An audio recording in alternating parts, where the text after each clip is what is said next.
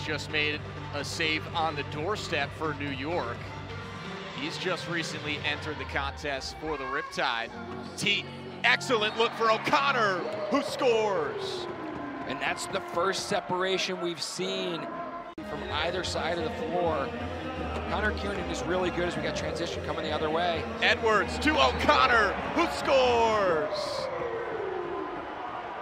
Kearnan lets it fly. Rebound O'Connor scores. Reilly O'Connor, Johnny on the spot there, is able to pick up that rebound. It just